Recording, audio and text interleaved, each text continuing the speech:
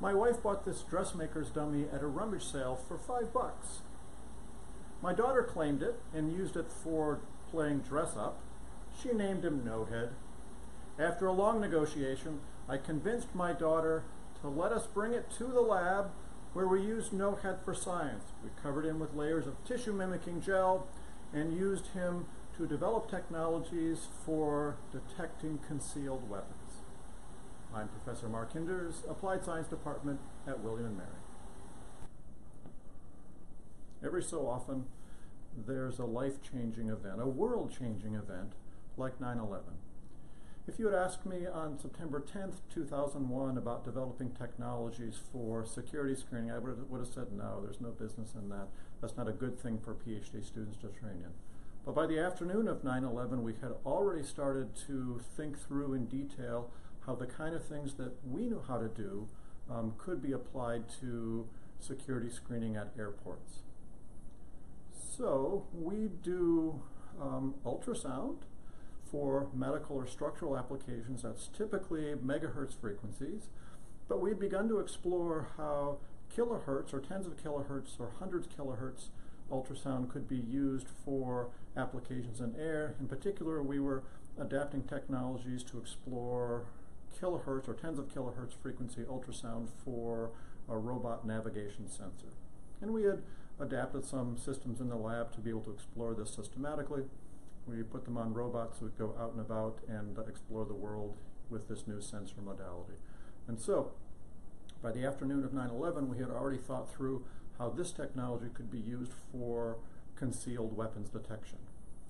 What we found, uh, using no head initially, was that um, de detecting a hidden weapon underneath clothing is very difficult um, with ultrasound. The issue is that at some standoff distance, it's difficult to focus the ultrasound with a modest size sensor. If you go high enough in frequency that you can focus, it isn't going to propagate very well, and in particular, it won't penetrate clothing. If you go low enough in frequency that the sound will propagate long distances and penetrate layers of clothing, then you can't focus it. A new technology was just becoming available uh, using nonlinear acoustics. Uh, the devices are called parametric arrays, and uh, this uses the uh, a nonlinear effect to broadcast pairs of ultrasound frequencies, um, but then downconvert as it propagates to uh, low frequency audible range things. And the idea here is this technology can focus, can propagate, um, but then the low frequencies can penetrate, backscatter from what's ever underneath the surface, and uh, that signal then can be picked up with microphones in order to uh, deduce what's underneath the surface. One of the inventors of this technology is Woody Norris. Let me show you a little clip um, from back in the day from uh, um, about uh, his company and his technology. And the main thing that I want you to see from what they were calling hypersonic sound is that you only hear the signal when the device is pointed at you. Hypersonic sound is a technology that allows us to create sound beams that are very tightly controlled directivity-wise, very similar to how light is controlled by a laser.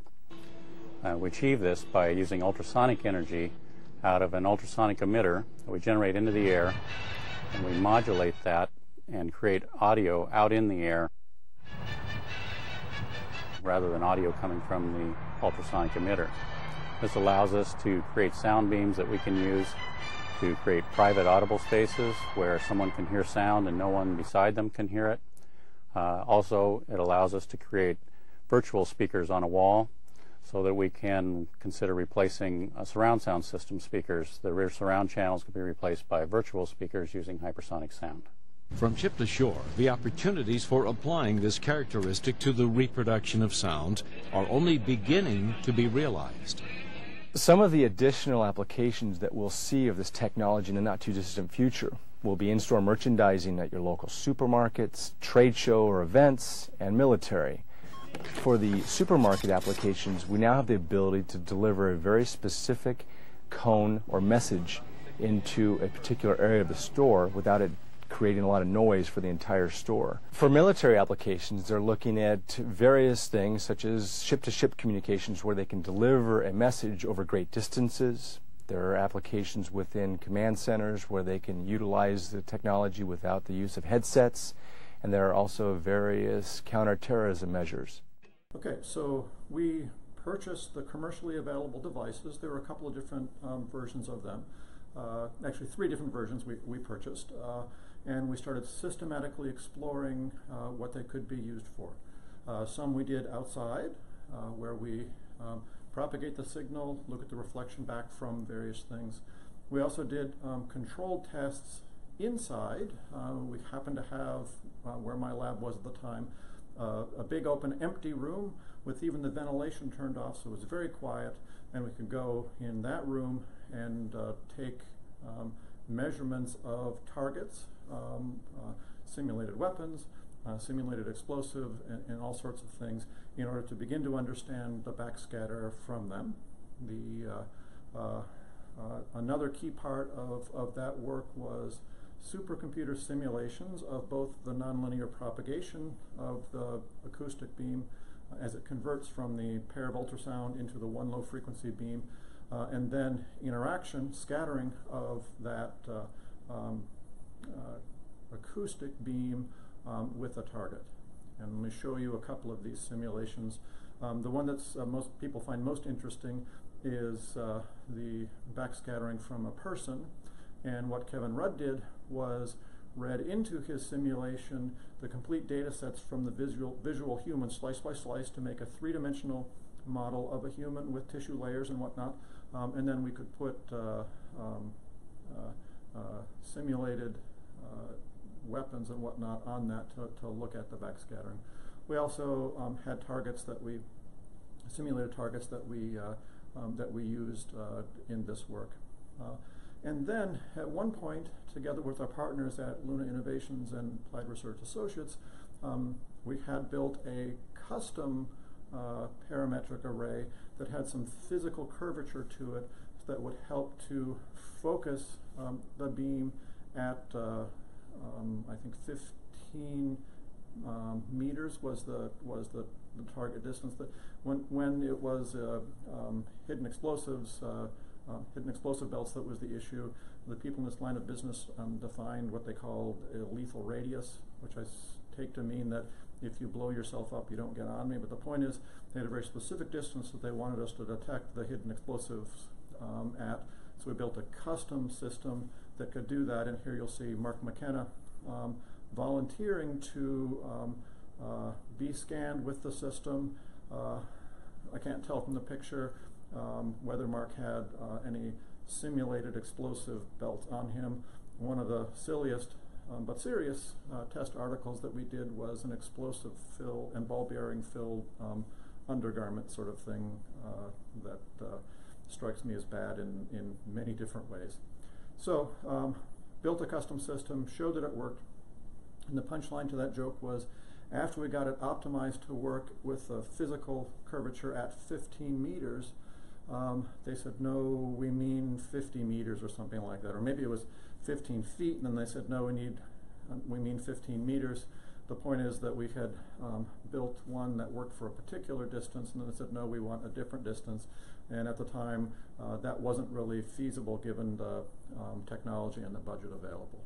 And so the, uh, it's a really interesting problem in the sense that uh, you can use this technology to focus um, the sound beam on a, person, for example, and the person won't hear it because it's pointed, say, at their abdomen rather than at their ears, and then you'll get backscattering from um, whatever's underneath the surface, and it's a machine learning play in the sense that you have to um, interpret those complicated signals that come back in order to make the call in real time of uh, weapon or no weapon.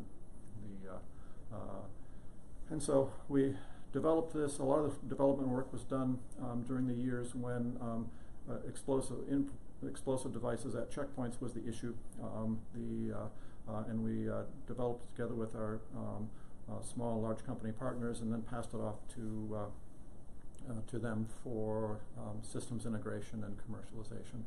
We also did um, a whole sequence of really interesting simulations of this complicated nonlinear 3D scattering um, just after the time when the underwear bomber um, was an issue.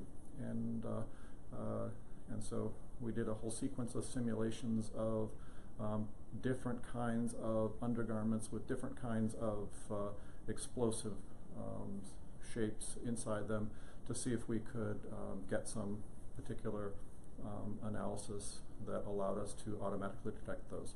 Early on, uh, one of the applications that we worked on was uh, the sort of traffic stop scenario uh, where uh, you want to, from some standoff distance, tell whether the person uh, has um, a hidden weapon or not.